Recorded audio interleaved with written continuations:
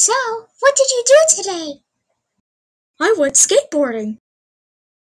That is very interesting.